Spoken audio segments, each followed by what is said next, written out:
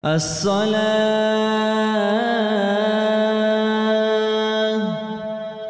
الصلاة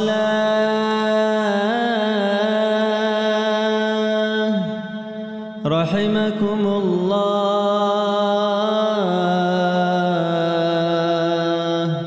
إلى الصلاة الجامعة. أعوذ بالله من الشيطان الرجيم. بسم الله الرحمن الرحيم. الحمد لله رب العالمين حمدا يوافي نعمه ويكافئ مزيده. يا ربنا لك الحمد كما ينبغي لجلال وجهك ولعظيم سلطانك. والصلاة والسلام على رسوله محمد وعلى آله وأصحابه أجمعين. أما بعد السلام عليكم ورحمة الله تعالى وبركاته. الحمد لله بشاه безграничная милость Всевышнего Аллаха. Уважаемые братья, мы сейчас, в данный момент, в эти дни, в этот отрезок нашей жизни находимся, если можно так сказать, в объятиях несметных благ Всевышнего Творца. Это уникальная возможность в жизни каждого человека, любого человека – исправить и улучшить свое положение, как в этой мирской жизни, так и загробной в ахирате. Этот месяц Рамазан, который с каждым днем сокращается и уменьшается, каждый день он становится все меньше и меньше его. Это столь великое благо для нашей умы – для нашей умы то, что не было для прежних народов. Такого месяца, как для нас месяц Рамадан. От Абу Саида, радиаллаху анху, передается, что посланник Аллаха, саллаллаху алейхи вассалям, сказал, «Лау я'ламу l'ибаду ма фи Рамадана латаманнат уммати ан якуна Рамадану санатан». Если бы знали бы рабы, если знали бы рабы Аллаха, какие есть все блага и достоинства в этом месяце Рамадан, то моя ума пожелала бы, чтобы этот месяц длился бы, чтобы этот, мел, чтобы этот месяц длился целый год. Настолько велика милость Всевышнего Аллаха, как указал нам пророк, алейhi если бы мы осознавали, понимали бы всю ту цену и важность этого месяца, который она себе содержит, мы бы просили Всевышнего Аллаха часто, часто и усердно, чтобы Он растянулся у нас на целый год. Это, такая, это настолько великая милость, в которой мы сейчас находимся, за совершение желательного поступка, в котором в этом месяце приравнивается как совершение одного обязательного поступка. А совершение обязательного поступка приравнивается к совершению 70 обязательных поступков –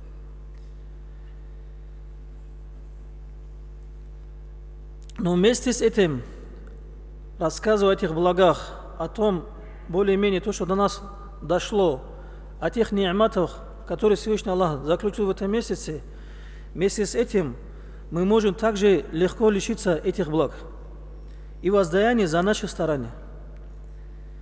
Наши посты, молитвы, милостыни, подаяния, чтение Священного Корана, и'тикаф – которую мы стараемся совершить в этом месяце и так далее, все другие ибадаты, они могут обернуться для нас простым голоданием и потраченным впустую усердием, старанием.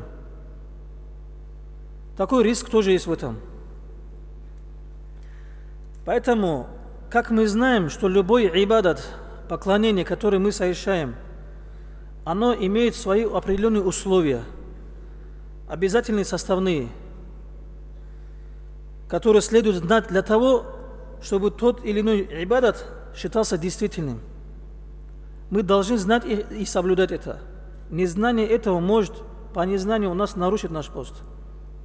Наши поклонения могут остаться без ничего. Поэтому знание этого всего поклонения необходимо для нас. И сегодня я хочу напомнить не лишний раз для нас – чего же нам стоит сторониться? Что нам нужно оставить для того, чтобы наши старания не были тщетными. В первую очередь, говоря, начиная о посте, все, что касается поста, от чего должны мы, как мы должны его беречь, наш пост, прежде чем об, начать об этом говорить, вначале хотел бы сказать, что сам пост, соблюдение поста, делится на три вида. По своему уровню он делится на три вида. Первый – это как бы пост простой, простых людей. Это любой человек, который может силе сделать. Далее следующий – особенный пост. Это пост более таких э, правдивых рабов Всевышнего Аллаха, искренних. Это более сложно еще. А третья степень это уже более высокая особенных из особенных рабов Всевышнего Аллаха, таких как пророков, аулия и приближенных рабов Всевышнего Аллаха. Их пост заключается в том, что они воздерживаются от всего того, что может отвлечь хоть на миг мысль об Аллахе. Поэтому именно вот эти два более нам близких, простой уровень и более сложный, которые мы в коей, коей мере должны стараться соблюдать, об этих я хотел бы немного рассказать. Как мы знаем, составными частями поста это являются основные две вещи. Первое – это намерение. Наличие намерения на соблюдаемый пост. Так как для любого вида ибадата необходимо наличие намерения, поэтому и к посту это тоже распространяется. Мы намерение, как мы знаем, каждую ночь захода солнца мы должны делать намерение до наступления утреннего азана, времени намаза – мы должны сделать намерение на соблюдение завтра поста.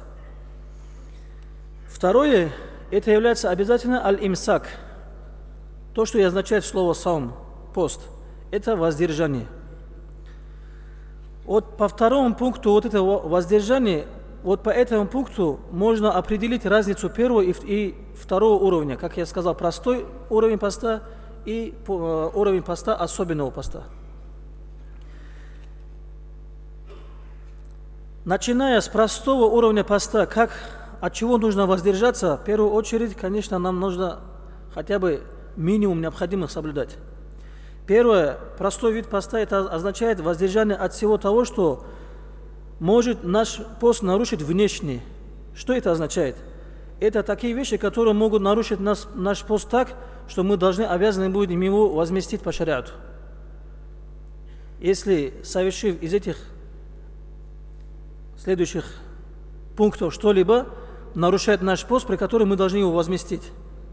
Это простой вид, уровень поста. Первое – это от чего мы должны воздержаться, от чего мы должны сторониться. Это воздержание от попадания внутрь нашего тела через естественные пути, естественные проходы чего-либо извне.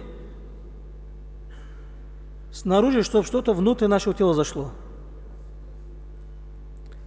И здесь тоже такое примечание. Это должно быть с волей самого постящегося, чтобы он сам контролировал это. Это раз. И второе, чтобы это было в тот момент, когда он знает, что он соблюдает пост, будучи в посте. Как это понять? Человек, как мы знаем, когда забывает, хоть он сколько бы ни поел, не выпил воды, это пост не нарушает. Как только он вспомнил, если оставил, пост не нарушается, и другие явления, которые он не контролировал, не контролировал непроизвольные какие-то, например, с улицы какой-то мусор, случайно пыль какая-то проглотил, или же муха, или что-то. Такие от него независящие факторы, они тоже не нарушают пост. Это первое, которое мы все в основном знаем. Таким естественным проходом, конечно, как мы знаем, ротовая полость, носовая полость – это естественный проход, потом а, через ушные проходы, передние, задние проходы, вот это в основном оттуда, чтобы внутрь тела не проходило ничего. Мы должны от этого воздержаться. Второе обязательное, то, что мы должны соблюдать, воздержаться, это от половой близости. Будто она разрешенная или греховная, какая бы близость половая ни была, она нарушает пост. Но, как мы знаем, с примечанием, если супружеская близость была, она нарушает вместе с тем, что и нарушила пост, определенный накладывается штраф кафара, то, что он должен возместить. Помимо этого, держать два месяца под подряд посты.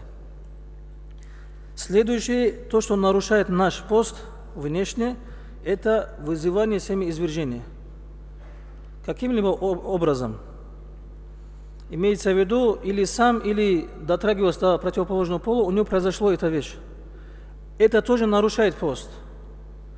Но здесь такое примечание, если человек в течение дня, будучи во сне, у него это произошло, семяизвержение, или же у него произошло это от каких-то мыслей, оно не нарушит пост. Это должно быть, чтобы это было искусственным. Четвертое – это вызывание рвоты – не рвота, а сам процесс вызывания рвоты. Если человек уже пришлось или по болезни, или как-то сам вызвал рвоту, или палец засунул, или другими, например, шланг проглотил, вызвал рвоту, это нарушает пост. Там даже не рассматривается, он проглотил от этой рвотной массы что-либо или нет. Вот сам процесс вызывания рвоты, он уже нарушает пост. Но другой момент, который непроизвольно, от него независящий вышло, он вырвал человек, если он внутренне обратно не пустил ничего, он у него пост не нарушается.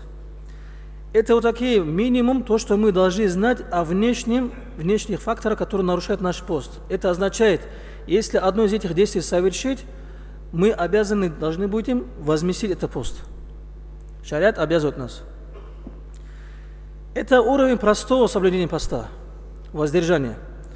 Следующий уровень – это пост более сложный, поэтому он и называется пост особенных людей, праведных – Помимо воздержания от того, что мы перечислили, это еще воздержание от того, что нарушает наш пост духовно. Внутренний наш пост портит. Внешний, да, мы скажем, он пост совершил, на него обязанность, с него обязанность спадает, все исполнил, но внутренний у него пост не считается. Это вот такие факторы, которые нарушают наш внутренний пост, духовный.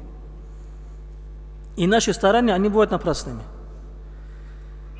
Это можно сюда общим а, одним правилом объяснить, это воздержание наших органов всего тела от таких, такие органы, как уши, глаза, язык, руки, ноги и так далее, воздерживать их от совершения какого-либо греха или же порицаемого действия. Удержание самого себя от греховного – это является более сложный уровень поста, который нарушает наше внутреннее состояние поста. Как пророк, саллаллаху алейхи сказал, «Хамсун юфтирна саима» Пять вещей нарушает пост постящегося. Имеется в виду, вознаграждение человек теряет. Это аль-кадибу, аль-кидбу, валь-гибату, ван-намимату, валь-ямину аль-кадибату, ван-надру бишахватин. Это ложь. Это злословить за спиной другого человека. Это распространение сплетен среди людей это ложная клятва, и это взгляд со своими страстями на греховное, которое смотрит человек. Эти порочные явления, они нарушают наш духовный вознаграждение нашего поста, пророк, саллаллаху алейхи так сказал. Теперь их по отдельности перечислим. Первое – это у нас сохранение глаз, нашего взора, сохранение его. Это означает не давать волю глазам смотреть на порицаемое, нежелательное или что-то даже запретное – и даже от того, что нас отвлекает от подминания Всевышнего Аллаха. Что-то ненужное, даже от этого нам нужно стараться воздерживать свои глаза. Пророк, как это пророк, саллаллаху сказал, «Ан-надрату сахмун масмумун мин сихами иблиса». Взгляд, запретный взгляд, это является одним из отравленных стрел шайтана. Мы даем волю, это опять-таки можем на сегодняшнем примере мы, у нас как никогда много возможностей есть, много соблазнов есть. Элементарно наши телефоны, любые гаджеты, которыми мы пользуемся, у нас есть доступ к интернету, и наши глаза в основном воспринимают эту информацию. И вот здесь мы подвергнуты тому, что мы можем нарушить вот этот наш пост, не сохранив свои глаза. Элементарно человек даже, будучи даже в мечети, как бы якобы находясь в иртикафе, он и этикаф, он свой нарушает, духовное вознаграждение. И он еще нарушает свое вознаграждение за пост, тем, что он, если порицаемый, что-то смотрит. И тоже опасная вещь, которую нам надо сторониться, чтобы не испортить наш пост внутренний. Второе – это сохранение языка от ненужных слов, от пустословий, как минимум. А еще больше от лжи, чтобы обманывать. от гибата. Гибат это когда мы злословим, что-то плохое, что-то неприятное человеку говорим за его спиной. От распространения сплетен, доводя для, до других друг другу то, что он сказал один про другого, и вот так между людьми делая смуту.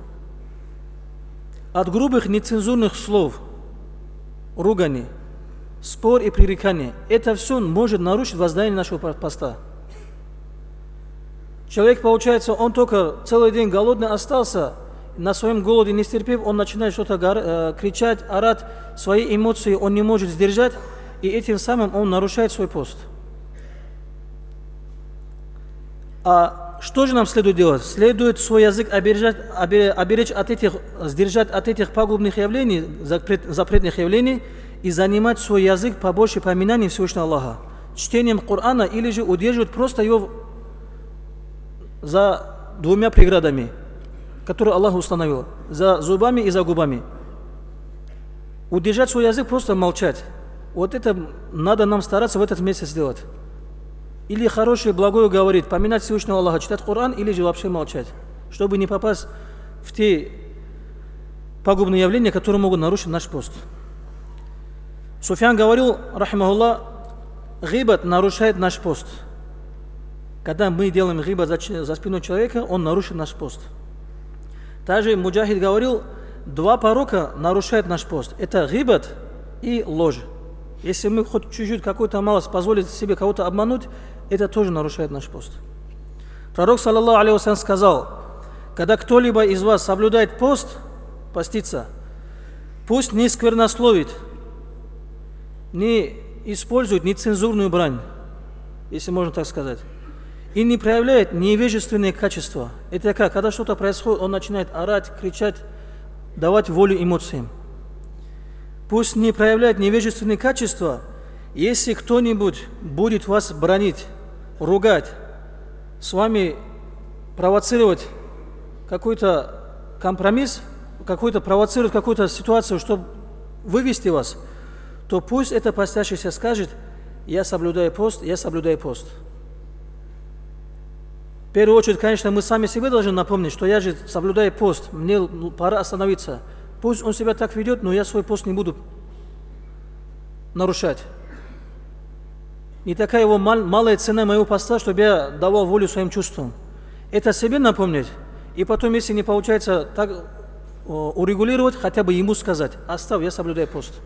Это то, что нам говорит пророк, саллаллаху алейhi относительно сохранения своего языка. Также пророк, саллаллаху алейhi сказал, кто не оставил ложное слово и ложные, как бы а, выходящие за рамки шариата какие-нибудь действия, то для Аллаха нет нужды в том, что он оставил питье и еду. То, что он не кушает, не пьет целый день, для Аллаха это не нужно. Если он позволяет себе какие-то действия недостойные или же какие-нибудь слова. И сами подумайте, как обратит Аллах свою милость на того, примет пост у такого человека, который человек оставляет то, что является желательным и не в Рамазана, и в Рамазане то, что, то, что не запрещено. Он оставляет, например, пить и кушать, он оставляет, но вместе с тем запрещает, совершает то, что запрещено даже вне Рамазана делать. То, что разрешено делать, он оставляет, кушать, пить оставил, но, несмотря на Рамазан, то, что и так, и так харам является, он это тоже совершает. Это подобно телу без души. Да, форма, образ есть, но нет внутреннего составляющего. Духовного внутреннего поста нет. И это означает богобоязненность, которую принимает Аллах и желает, чтобы проявилось это у раба. Из этого мы понимаем, что Аллах принимает и воздает за, за наши внутреннее состояние, которое мы стараемся это делать. Также Хасан Аль-Басри, говоря о сохранении своего языка, Хасан Аль-Басри однажды проходил мимо одной компании людей, которые веселились, смеялись, и чем-то они были отвлечены, как-то игрались они чем-то. И он, обращаясь к ним, говорит Хасан Аль-Басри, Всевышний Аллах сделал месяц Рамазан, как бы, если можно сказать, поприщем, ареной – на которой его творение, рабы Всевышнего Аллаха, соревнуются в служении Творцу. одни уйдут вперед, уйдут вперед и, приобрет, и они получат то, что они желали получить. А другие останутся на месте и останутся ни с чем. Очень и очень удивительно от того, кто смеется и играется в тот день, когда кто-то преуспевает, а кто-то лишается. Хасан Басри так сказал этим людям, которые сидели, компания людей, смеялись, какие-то развлечения у них были. Он как бы при им сказал, как можно смеяться, радоваться, когда перед Всевышним Аллахом мы можем лишиться всего из-за нашего языка. Также сподвижник Джабир, раддиллаху анху, говорит, если ты постишься, соблюдаешь пост, то постись, сдерживая свой слух, уши, свои глаза, свой взгляд и язык от лжи и запретного. И не причиняй вреда своему соседу, когда ты совершаешь в этот день пост. Будь спокойным и умеренным. Без суеты, спокойно, умеренно держи себя в этом посте, сдержанным. И пусть твой день, когда ты соблюдаешь пост, и день, когда ты не постишься, они не будут одинаковыми. То, что ты постишься, не постишься, чтобы разницы не было. Чтобы ты, когда соблюдаешь пост, максимально был сдержанным, который удерживает свои органы от совершения всего пагубного, запретного. Далее это то, что касалось сохранения языка. Следующее – сохранение наших ушей от того, что, от того, к чему прислушиваться греховно. Потому что то, что, совершил, то, что запретил Всевышний Аллах говорить, к этому прислушиваться тоже харам. Пророк, саллаллаху алейхи сказал, тот, кто совершает гибат, говорит о ком-то за спиной, что-то ему неприятное, за спиной какого-то обсуждает человека, и тот, кто слушает его, они оба являются соучастниками в этом грехе. От того, что мы рядом присутствует, кто-то о ком-то говорит, говорит, а мы просто молчим, а я раз не говорю, мой пост, значит, сохранен, это не означает, что пост сохранился. Раз ты слушаешь, поддерживаешь, это тоже ты являешься соучастником и нарушаешь свой воздаяние своего поста. Следующее – это воздержание остальных, помимо этих перечисленных органов, все остальные органы воздержать от запретного или сомнительного. Это сюда можно отнести руки и ноги. Не совершать, не помогать своими руками что-то совершать нежелательно греховное.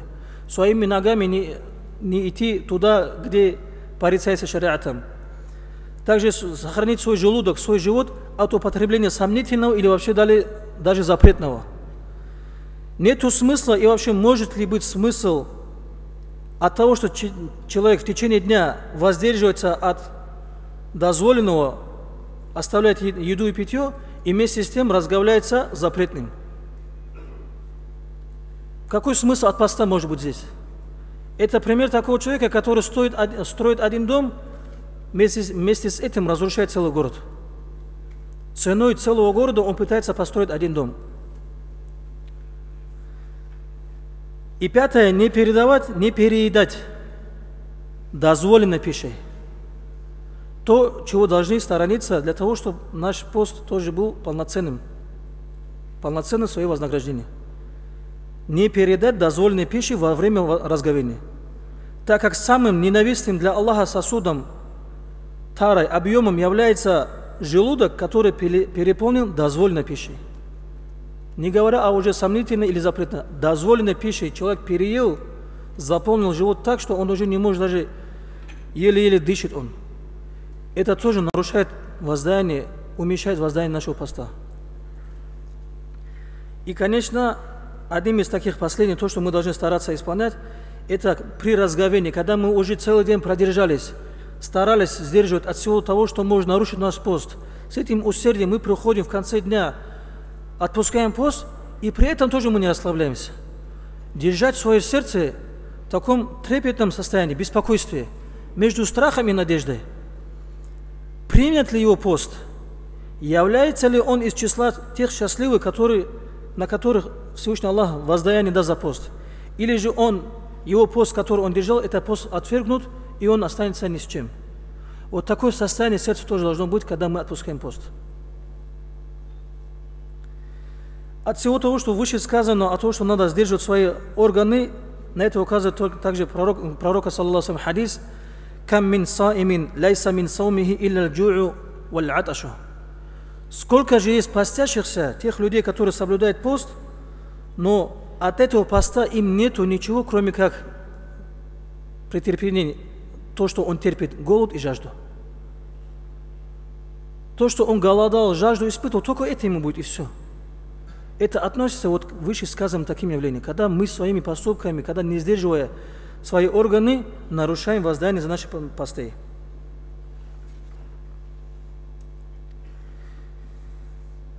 Поэтому, уважаемые братья, из вышесказанного, то, что мы перечислили, мы должны для себя вывод сделать.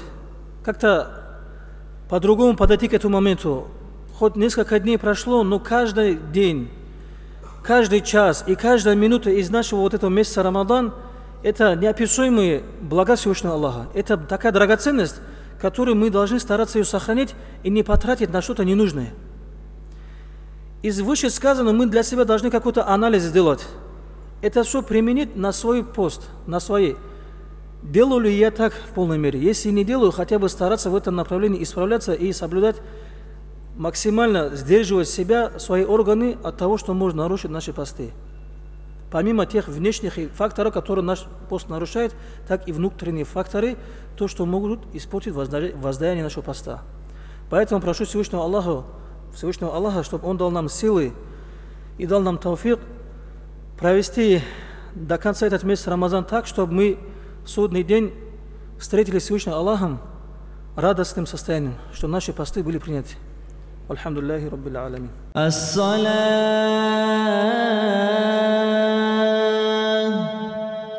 الصلاة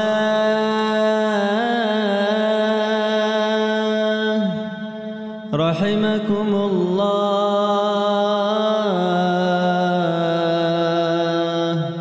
إلى الصلاة.